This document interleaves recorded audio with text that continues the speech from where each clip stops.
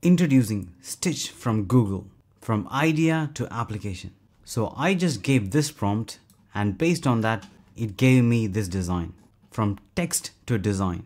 Similarly, here is another design it created for me. Here are a few examples and you can export this to Figma as well or you can download the code. So here's an example copying the Figma code and in Figma you can see it's available. I'm really impressed by this. The one-stop solution to create stunning design just from prompt using AI. You should definitely try this tool and it's available for free. That's exactly what we're going to see today. Let's get started. So what Stitch offers, generate UI from natural language, generate UI from images or wireframes, rapid iteration and design exploration, seamless transition to development by going to Figma and also you are able to export the code as well. This is really good. So I'm going to take you through step by step. Even if you're an absolute beginner, you should be able to go through and you don't need any coding experience. So go to stitch.withgoogle.com. There you will have an interface like this. You can develop a mobile application or a web application.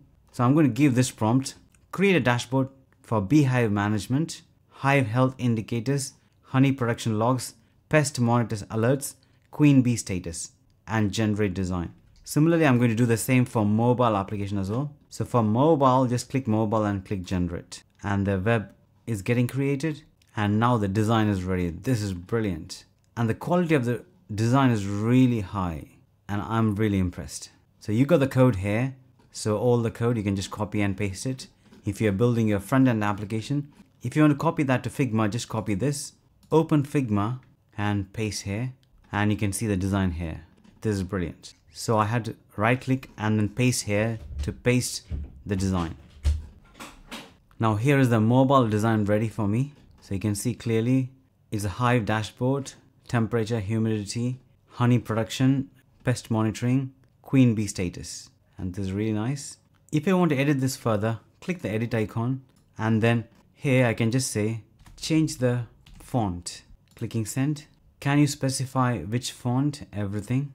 And here's the modified font. Also there's another option to edit the theme. Click on edit theme and you can choose the theme you want.